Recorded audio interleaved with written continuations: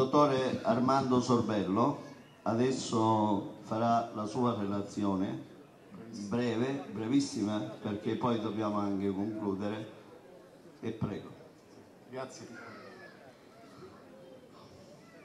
Certo che è fantastico, bello, ecco, riuscire a parlare a tanta gente. E io volevo, Pippo, se tu mi permetti, eh, dire subito una cosa, che la prima cosa che noi dovremmo fare, che qualunque amministrazione salga deve fare per Trecastagni, è di riconciliare i tre castagnesi, lancinati da questa campagna elettorale che ha messo l'uno contro l'altro. Questo è, secondo me, il principale obiettivo, perché soltanto stando insieme, tutti vinci, vinti e vincitori, si riesce a portare avanti la nostra comunità che ha bisogno di tanto. Quindi io ritengo che questa è la prima missione, Pippo, che bisogna fare, riunire i cuori, stare insieme, volerci bene, lo dico guardando tutti in faccia, tutti negli occhi. Questo è un grande obiettivo che bisogna fare solo col cuore. Ritengo che questo obiettivo alberga sia nei nostri cuori che nei cuori della lista avversaria.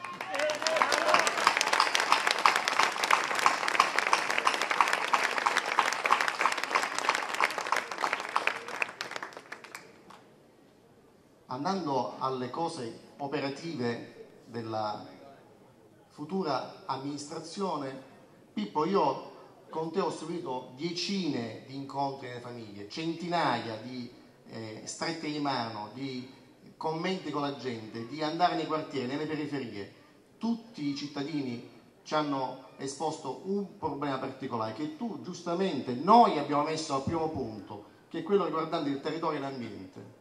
Questa è in forma specifica la mission principale, la prima missione che dobbiamo compiere, perché ce lo chiedono i cittadini nei quartieri, nelle varie periferie, lo scerbamento, la raccolta differenziata, il potenziamento del servizio della, de, della raccolta dei rifiuti. Questa è una ecco, priorità assoluta che ci siamo imposti e tu Pippo hai detto, e lo, lo sottoscriviamo, che questa priorità i cittadini devono darci 12 mesi di tempo per poterla arginare e poi esporre ed essere giudicati dalla gente. Lo faremo questo. La, la carta d'identità di un'amministrazione è il decoro urbano. Quindi anche con l'arredo urbano occorre mettere mano ecco, a iniziative nuove che permetta di ecco, godere in maniera piena, felice i nostri spazi. Perché proprio se ci sono spazi adatti alla collettività, a rendere vivo il cuore di ogni quartiere, è possibile ritrovare quella comunità, ritrovare gli ambienti in cui poter stare. Io ricordo che eh, in passato mi sono occupato della, di spingere il restauro di diverse eh, realtà, ecco, Sant'Andrea, la chiesetta di Sant'Andrea o la chiesa delle, delle suore o altre cose. Ecco, ci sono dei, dei, momenti, delle cose da dover fare perché lì si, si insidia ecco, il, il, il, la possibilità di poter stare insieme, le comunità ecco, si rispecchiano nei luoghi, negli ambienti. E quindi il territorio ambiente certamente riesce, riesce a essere uno dei punti salienti del nostro programma. Turismo e sviluppo economico. Questo è, è ovviamente il punto cardine su cui si muove l'economia di un, di un territorio Ecco, noi abbiamo una zona artigianale che occorre necessariamente far rilanciare, sviluppare, realizzare in una prima parola. Ce lo chiedono gli artigiani, Pippo, questo. Avere una zona artigianale dove poter allocare le loro aziende. Oggi abbiamo tantissime bravissime artigiani, ottime maestranze, che non riescono oggi a poter ampliare la loro attività perché hanno lo spazio piccolo Ecco, occorre quindi potenziare, realizzare, rendere operativa la zona artigianale, così come potenziare e rendere più efficiente la zona industriale che abbiamo a Tracastagni. Certamente Pippo, vedi, ecco, il sindaco, la, una comunità si erge sulla figura del sindaco, ma il sindaco si deve, è attorniato da una squadra di persone e questa è un'altra amministrazione. Questo è un altro sindaco e altri assessori, non sono, è una cosa diversa stiamo attenti. Ci sono persone diverse e le persone che hanno avuto esperienza proprio sulla scorta dell'esperienza vissuta riescono a potenziare, a rendere operativo cose nuove. sostenere questa nuova amministrazione.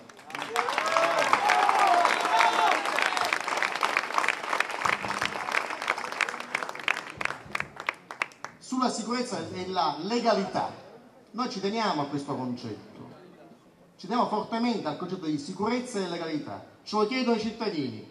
Certamente uno dei primi atti che faremo già è scritto, perché insieme al collega Lo Monaco e insieme al collega l'avvocato Matteo Scuderi, abbiamo già realizzato la bozza del regolamento che permette la videosorveglianza del territorio e sarà il primo atto che farà il Consiglio Comunale.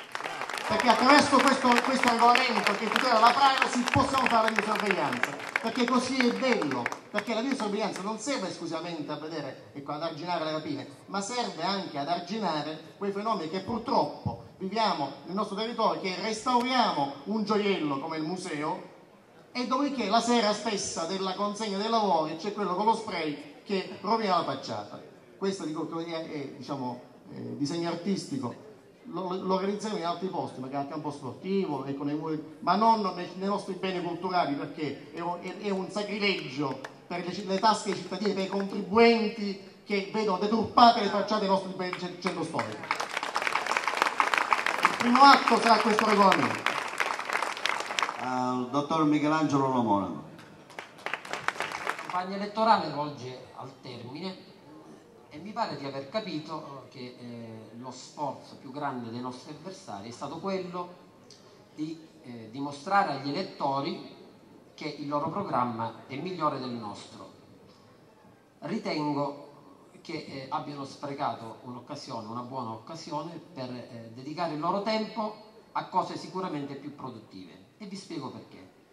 In realtà non esiste alcuna legge che vieta ad un'amministrazione di realizzare obiettivi, di porre in essere attività amministrative diverse rispetto a quelle indicate nel programma. Anzi sarebbe molto grave che un'amministrazione, una lista si presenti all'elettorato ritenendo esaustivo tutto quello che è contenuto nel programma, perché allora nel caso di emergenze sopravvenute o di opportunità sopravvenute evidentemente non lo potrebbero attuare perché non c'è scritto nel programma.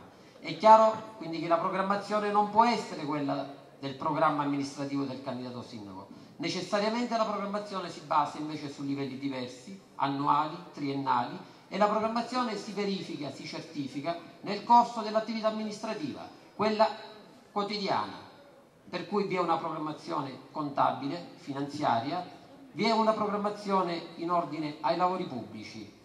Giammai è, la, è esaustiva la programmazione contenuta nel programma elettorale. A cosa serve il programma elettorale allora?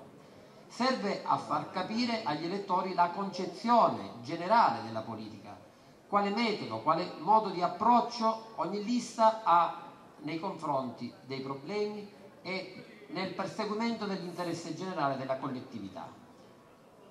Nel caso nostro, di Trecastagni ritengo che non è necessario soffermarsi troppo sui programmi, bisognerebbe anche far sapere agli elettori che vi sono due liste contrapposte, quella dell'onorevole Barbagallo di centro-sinistra e quella di Pippo Messina di centrodestra e alle nostre spalle vediamo i simboli e i partiti che appoggiano questa lista con il sostegno autorevole e competente del, eh, degli esponenti delle, eh, della società civile. Anche noi avremmo potuto scrivere il libro dei sogni, consapevoli che non vi è nessuna sanzione, perché nessuna sanzione è prevista per la mancata attuazione del programma elettorale, se non fondando una generica responsabilità politica del, eh, dell'autore del programma elettorale.